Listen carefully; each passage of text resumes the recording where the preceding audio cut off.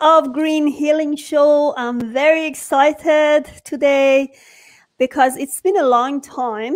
I was going to go live with Green Healing Show, and I already have a lot of people in a queue to come and talk to you because my purpose is uh, giving you an awareness about this beautiful holistic medicine and know that there is a bridge between holistic medicine and uh, conventional medicine. They can be connected because our body and mind should be connected to heal.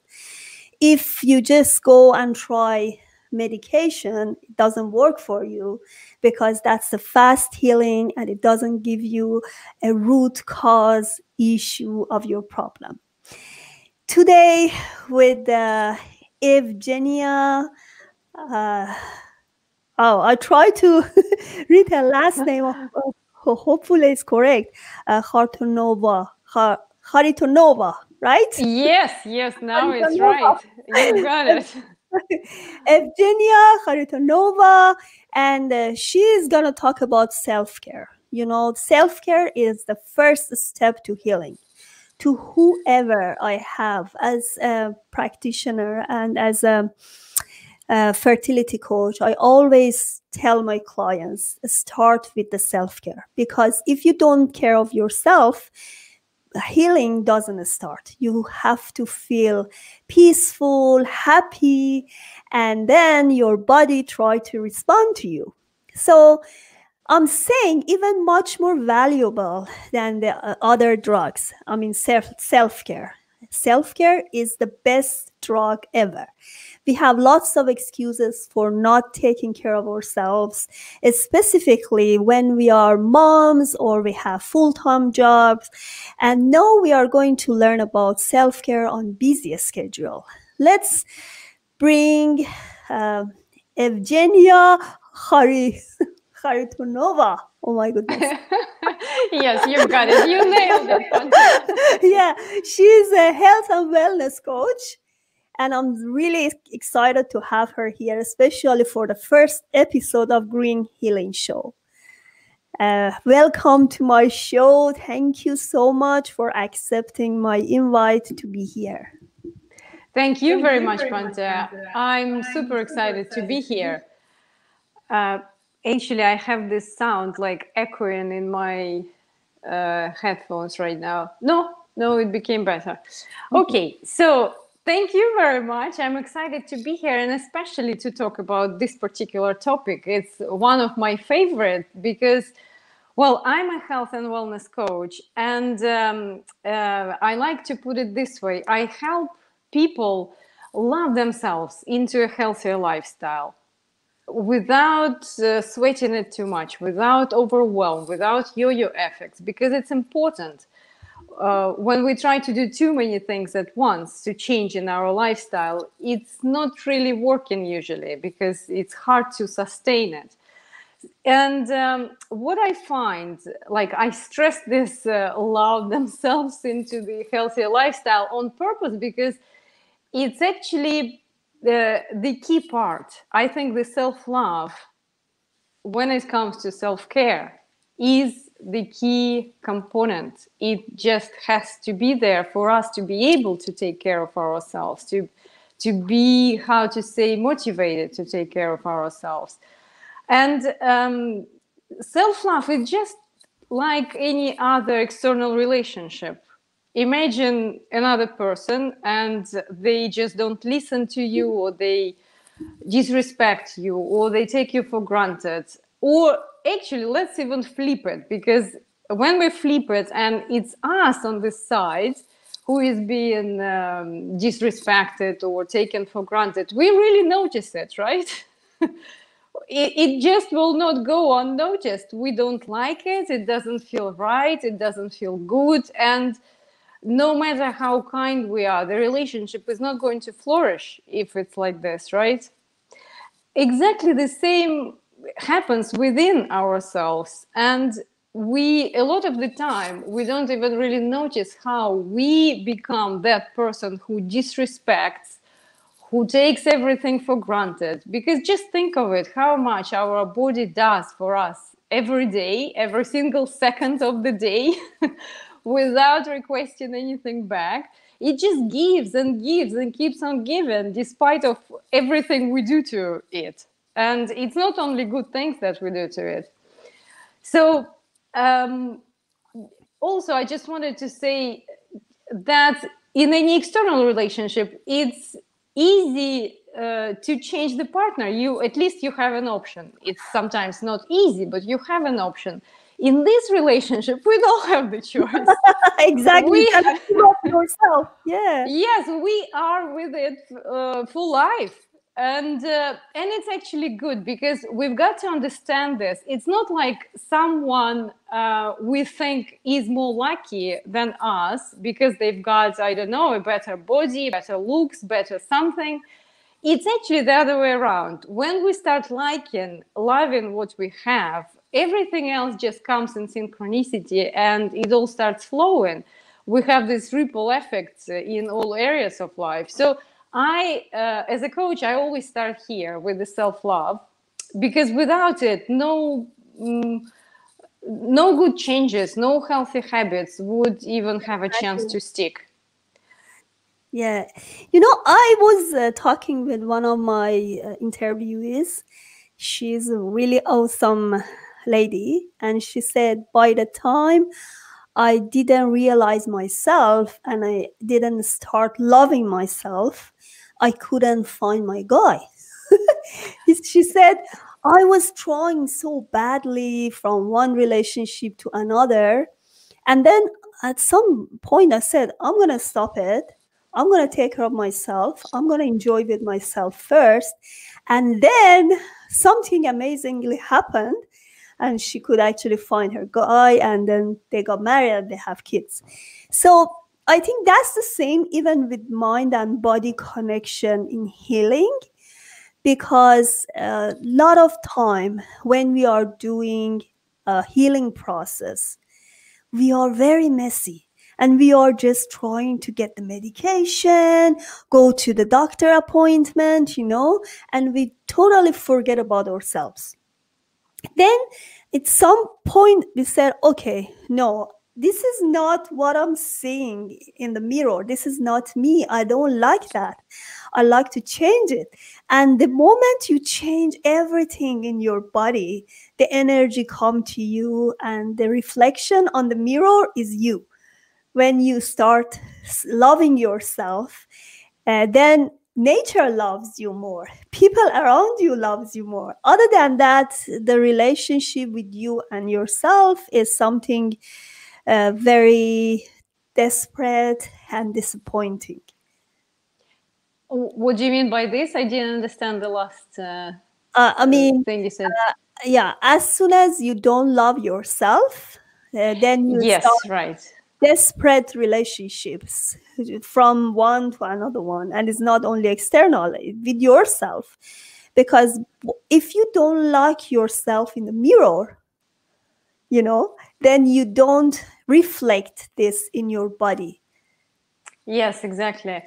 Um, you even reminded me i would say one of the indicators it's like a test it's like a lakmus test uh, thing to check if you how is your relationship with yourself doing is if you can look in the mirror and say without any inner resistance without any kind of ooh feeling uh, like this without any tension that uh, i love you i love myself yes. if you can say that just easily and naturally just like you would to the person that you love then it's it's it's a working relationship it's all fine.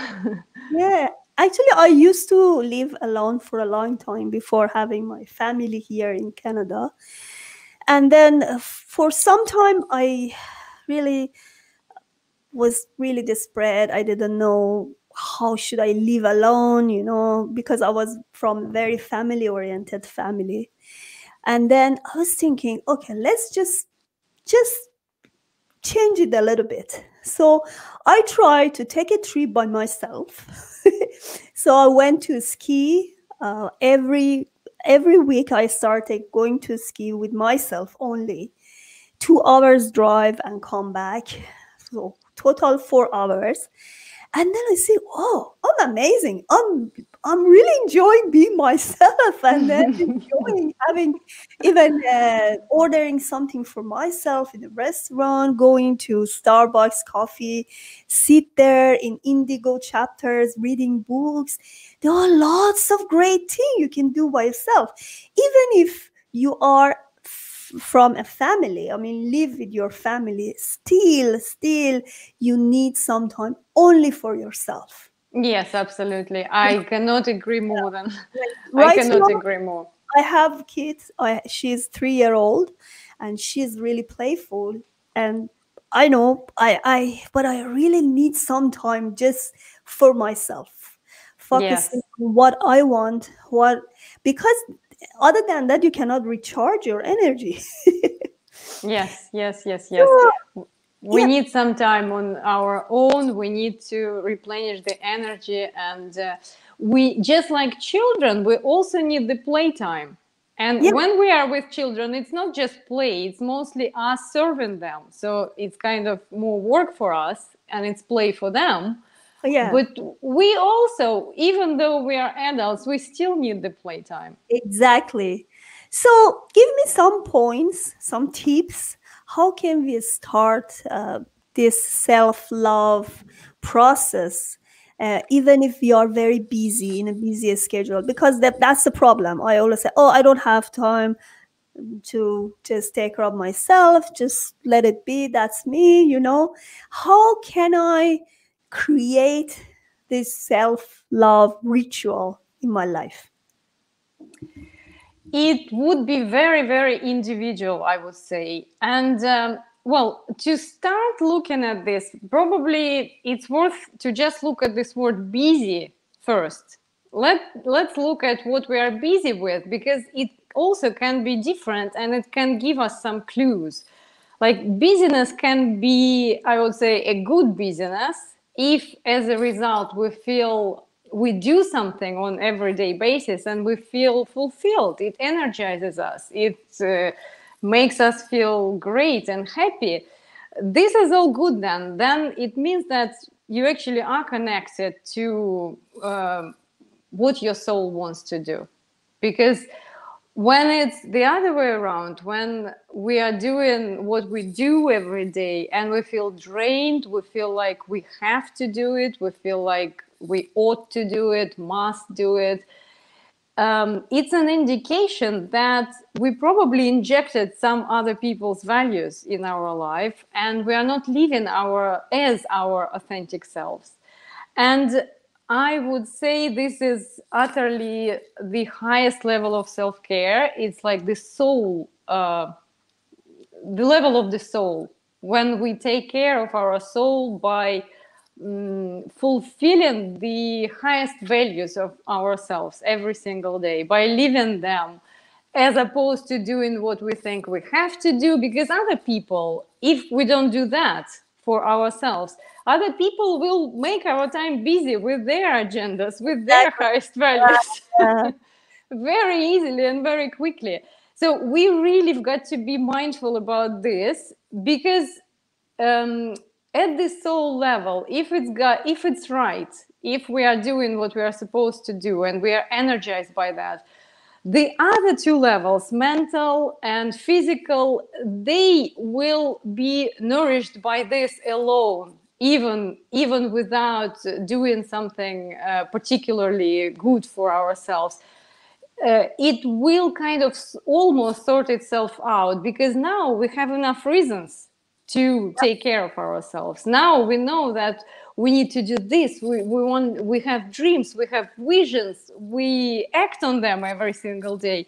Now we have enough reasons to actually take care of ourselves so the problem comes usually when it's the other way around when we are busy doing some other people uh, you know fulfilling some other people values not our own we will feel drained and it will be much harder to take care of ourselves. Like we won't have motivation for that, and um, the health will be just deteriorating, even just because of that. Yeah.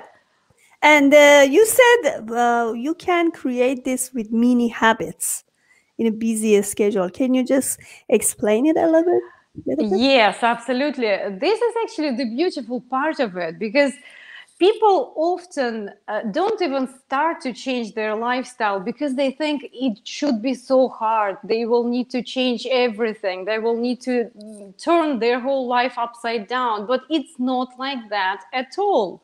The main thing is to really pick one thing just one thing, but the thing that is yours. So there is nothing universal. We are all different. Um, no cookie cutter approach is working here as well. It's we need to find because we have different needs, we have different preferences, we have different abilities physically and mentally and uh, otherwise. We are all totally completely different, and also in the time, um, our um, well, how to say the needs of our body are different throughout the different periods of our life. So it actually takes a good look, good um, conscious look at our life and just picking one thing because um, different activities actually produce different results. And there are always something that you can do that will give you 80% of results with 20% of the efforts. And I cannot just give it as a universal recipe because, as I say, it will be individually different to everyone.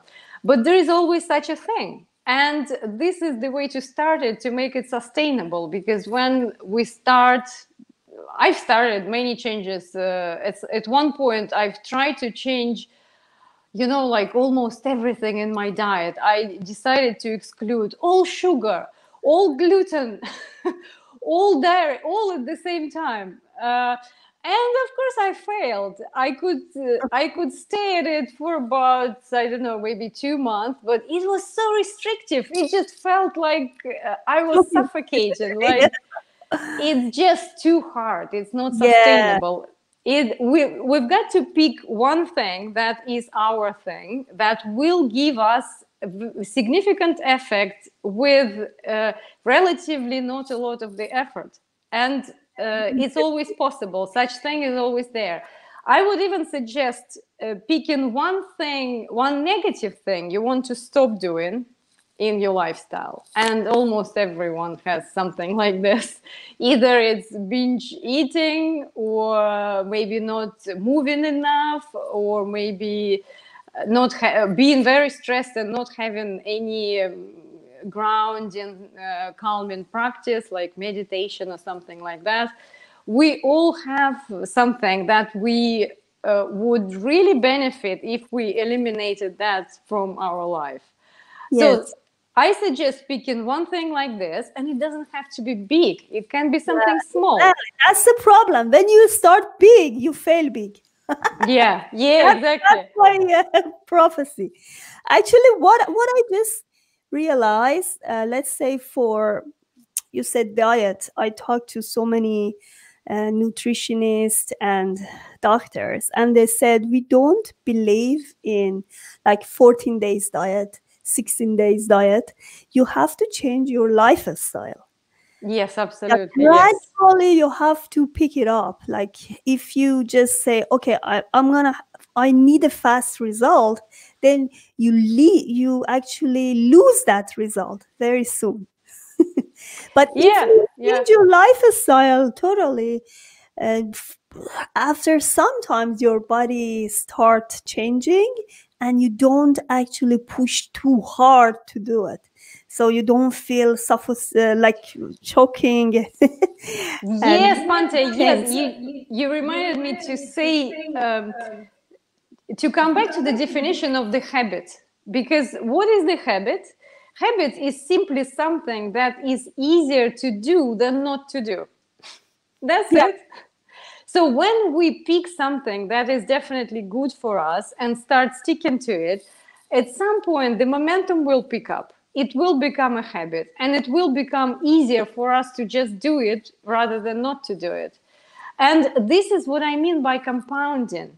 So this word compounding, uh, you know, health and vitality is uh, in the title of the topic today. And it's a very important word because any good habit over the time, it just compounds the goodness. And compounding is a powerful thing, as you probably know.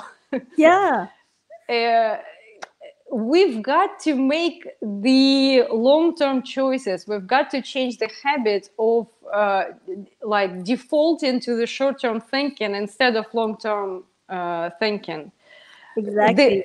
the, to make time our friend we've got to be making long-term decisions. And any decision about developing a healthy habit is a long-term decision. It's going to compound with the time. But the bad news is exactly the same compounding happens on the bedside for us. Yeah, if, exactly. if we take short-term decisions right?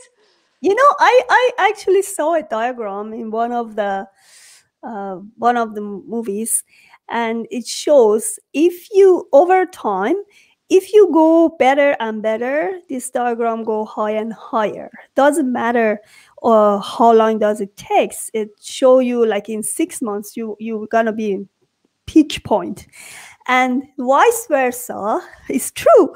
Because if you you're doing okay, I'm lazy, I cannot do it a little bit less, a little bit less, le- less, less, less, and then finally you finish. You are losing your good habits.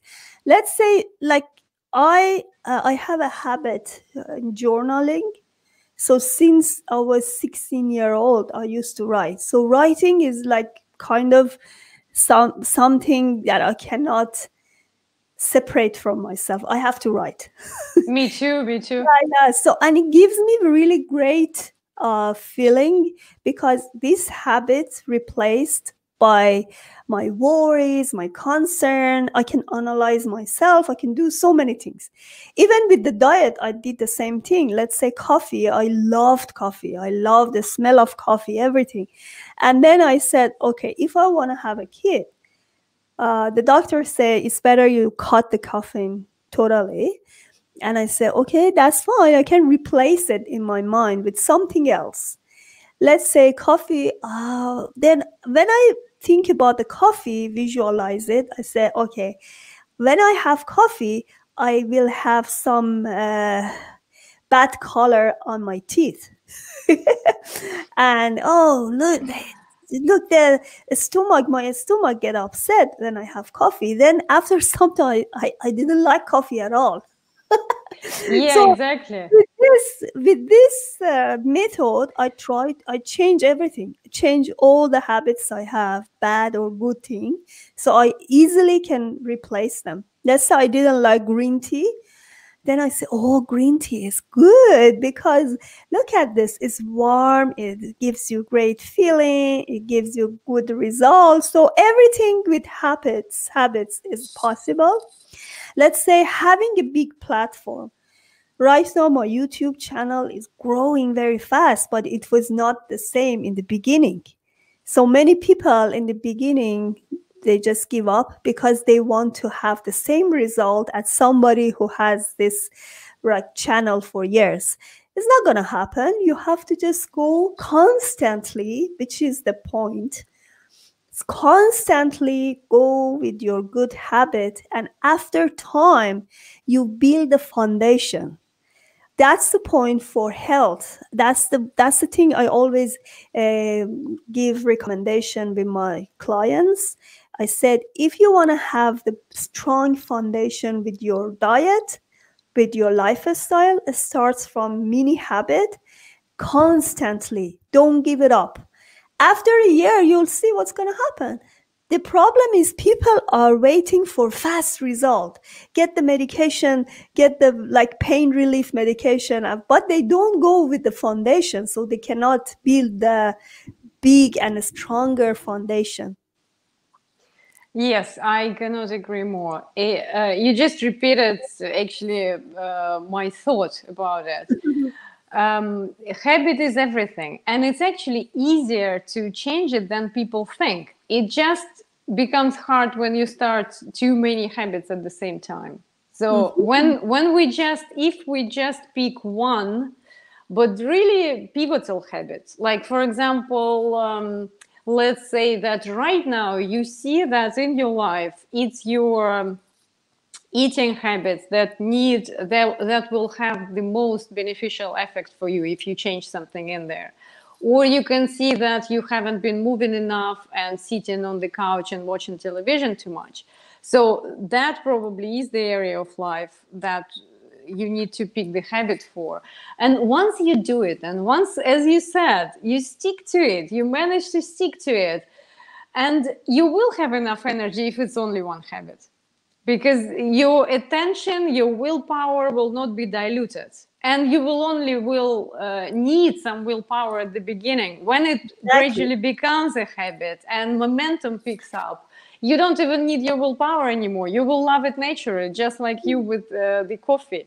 Uh, you don't like it anymore because well it's not it's, it's now not a habit of your life. It's going to be part of your life. Yeah yeah. So, uh, Evgenia, we have four minutes left. Uh, I just want to talk about your program. Uh, you said um, you uh, have a self care club on Facebook, right? Yes, what that's the group, private group. Yeah. What is what is what is your purpose for this group? My purpose for this group is to provide some actionable um, advice and help in terms of self-care and mm-hmm. uh, and basically because i'm also working behind the scenes i'm also working on creating a program uh, mm-hmm. I've just had the first initial beta program recently, and now I'm getting it to the next level. So uh, the group is uh, like a playground. I check my material there, I gather the feedback from people, and uh, I just check what works, what not, what what's not working, what what uh, gathers some interest and momentum, and uh, what doesn't. Uh, so right now I have been. I only started it a couple of months ago, and I've started posting some workouts, also aimed at people on the busy schedule, like mm-hmm. not for those who can dedicate uh, i don't know three hours a day to uh, to go to the gym or to do some movement. So something that would be very efficient uh, in a short period of time. Um, so this yeah. is what the group is for. So self-care club on facebook and you can find her on instagram eve the coach. Eve the coach yes. Eve the coach yeah she's here to help you as a self-care in busy schedule. Because uh, especially right now in covid situation that's what we'll need. And that's uh, about the green healing show because my purpose is just showing you that self-care is the first step in healing. As soon as you realize you're going to be healed that's going to happen in you so medication is not enough. Medication is a fast, fast result and it doesn't get you a great foundation of health. So you need to create these mini habits and improve your health by replacing bad habits with good ones. And here, uh, Evgenia is the one can help you, and you can also have your own customized program on self-care because everybody has its own busy schedule and his own um, interests. You can do it journaling you can do different arts whatever that you can focus and enjoy it. Yeah that's gonna help you to improve. Thank you so much evgenia being here i really enjoyed talking to you and i hope a lot of success and luck for your Facebook group and your business. Thank you very much, Pantea. Uh, thank you very much for having me here. And uh, I wish you all the best with your book. I know it's just been out, and my yes. congratulations on that. Thank you so much. That yeah, so cool. Conceived. It's there, uh, published on Amazon, two times bestseller And then for whoever wants to get pregnant and struggling with pregnancy, welcome to have it. And you can also subscribe to Pantea Kalhor Transition channel to get notification from all these shows. And yeah, watch these amazing interviews with me. Thank you so much. Yes, Bye. thank you very much. Bye.